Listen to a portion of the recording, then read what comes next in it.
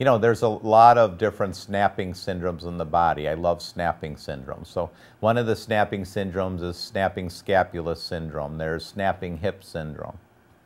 You know, and you, you would think like, oh, you get some massages, you know, you do some exercises, and, you know, that should take care of it. But often for those conditions, it, it's not curative, whereas prolotherapy can be curative. And the reason is that most bones are snapping against tendons or muscles because the underlying joint is unstable.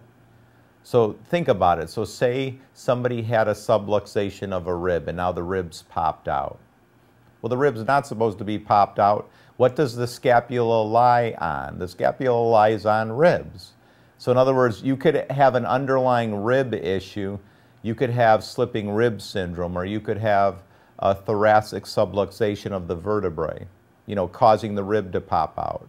And now the scapula, when you move your shoulder and the scapula is moving, it rubs on the underlying ribs. So that could be one cause of snapping scapula syndrome. Also, if you have a shoulder joint instability. Remember, the scapula is half of the shoulder joint.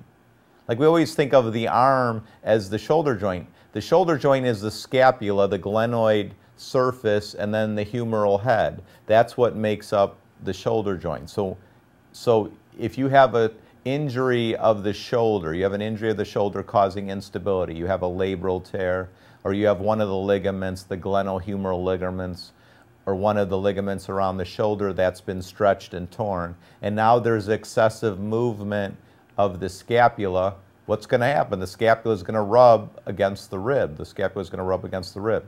So the most common causes of chronic scap snapping scapular syndrome is going to be either subluxation where the rib attaches to the vertebrae, there's ligament injury there, or there's ligament injury where the humeral head attaches to the scapula.